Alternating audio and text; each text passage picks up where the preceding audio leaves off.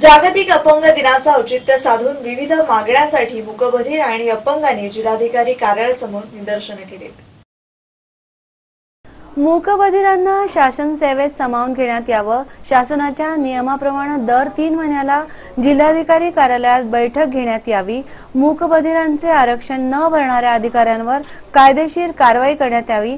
या मुख्य मागण्यांसाठी मूकबधीर संघटनेनं जिल्हाधिकारी कार्यालयासमोर निदर्शनं केली आहेत. तसेच अपंगांच्या विविध योजनांची अंमलबजावणी करण्यात यावी. या मागणीसाठीही अपंग संघटनेनं निदर्शनं केली आहेत. मनपानं अपंगांसाठी तीन टक्के निधी खर्च करावा. अपंग कल्याण पुनर्वसन समिती स्थापन करण्यात यावी अशा विविध मागण्यांसाठी ही निदर्शनं करण्यात आली आहेत. या निदर्शनामध्ये चंद्रकांत कुलकर्णी तुकाराम काळे सुनील म्हस्के दत्ता साळकर शिवाजी गाडे आदींची उपस्थिती होती.